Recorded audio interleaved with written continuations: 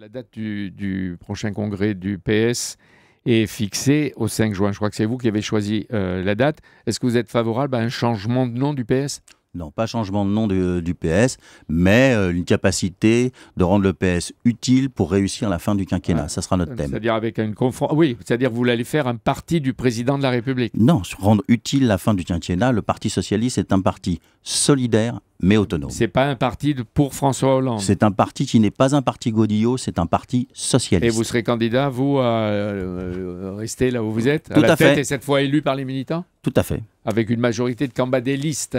On essaiera. Merci beaucoup Jean-Christophe Cambadélis d'être venu ce matin en direct sur Europe 1. Merci.